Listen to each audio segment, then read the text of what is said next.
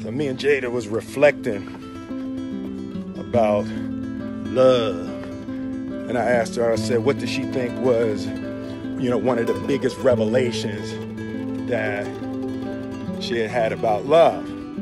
She said that you cannot make a person happy. And I thought that was a real deep idea. Un video grabado por el propio Will Smith hace dos años en el que reflexiona sobre la felicidad y daba detalles sobre su relación con su esposa Jada Pinkett ha vuelto a ver la luz, luego de que ésta le confesara en un programa en vivo sobre una antigua infidelidad. I think um, you need to say clearly what happened. As far as what? You and I decided we were going to take our space and what happened. Yeah, and then I got into an entanglement with August. That's what I said. An entanglement? Yes.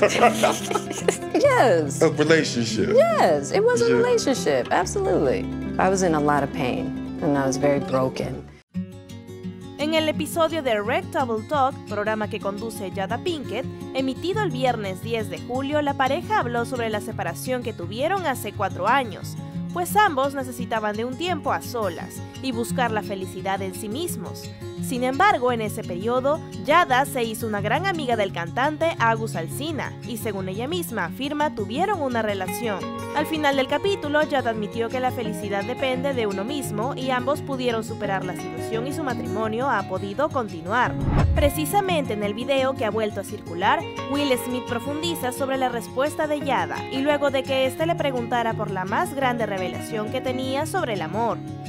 Me and Jada was reflecting about love.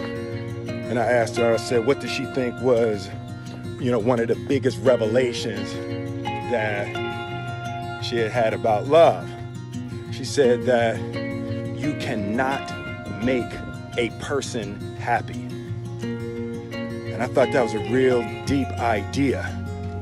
You can make a person smile, you can make a person feel good, you can make a person laugh, but whether or not a person is happy is deeply and totally and utterly out of your control. Finalmente, el actor contó cuál era su conclusión sobre la felicidad y la vida en pareja, lo cual los llevó a mejorar su matrimonio. I remember the day um, I retired. I literally said to Jada, that's it. I retire. I retire from trying to make you happy.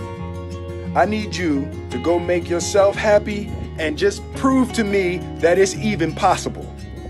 And after we cracked the hell up, um, we started talking about we came into this false romantic concept that somehow when we got married that we would become one and what we realized is that we were two completely separate people on two completely separate individual journeys and that we were choosing to walk our separate journeys together but her happiness was her responsibility, and my happiness was my responsibility.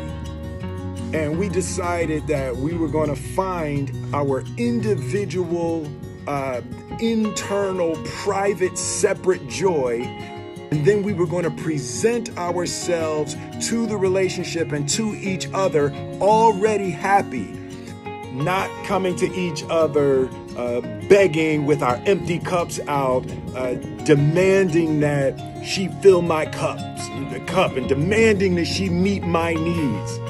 It's unfair and it's, it's kind of uh, unrealistic and can be destructive to place the responsibility for your happiness on anybody other than your La confesión de Jada Pinkett Smith ha batido un récord histórico de visitas en Facebook, al sumar más de 15 millones de espectadores en tan solo 24 horas.